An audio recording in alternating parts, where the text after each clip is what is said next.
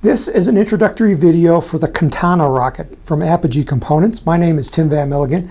As you can see, this is a big, long rocket. It's 4 inches in diameter and 74 inches long. Here in the back end, we have a 54 millimeter engine mount. So it's designed to fly on I's, J's, K's, and L size rocket motors. On an I motor, it's going to go over 2,000 feet, and on an L motor, it's going to go closer to 8 to 9,000 feet. Um, it is set up for dual deployment, so we have an eBay here in the middle where you can mount your electronics. Uh, inside, you'll have two parachutes, um, and this rocket does come with both parachutes.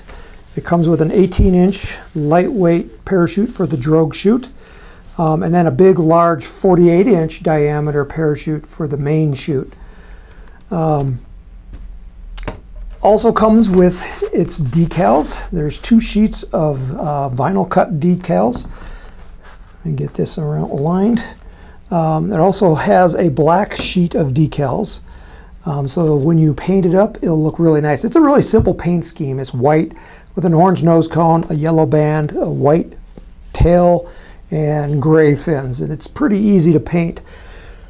When you come to our website, you'll see on the, the Katana page that there are videos for the Zephyr rocket. And we did this because basically the Zephyr shares the same engine mount and fin arrangement. The size is different because it's a 54 millimeter mount and this is a 38, but the assembly technique is nearly identical. So you'll just watch the videos there for the Zephyr while you're building the Katana. Um, it also shares similar arrangement to the Peregrine. The Peregrine was a dual deployment rocket, um, so it was just a little bit larger than the Zephyr. And then you go to dual deployment. And then with the Katana, you have dual deployment and the 54 millimeter motor. So it's good for a level two attempt. Um, so those of you that want to do that, this would be a good rocket for that.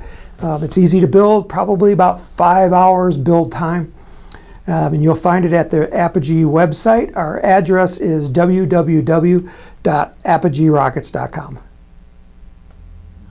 Okay. Armed and counting in five, four, three, two, one, ignition.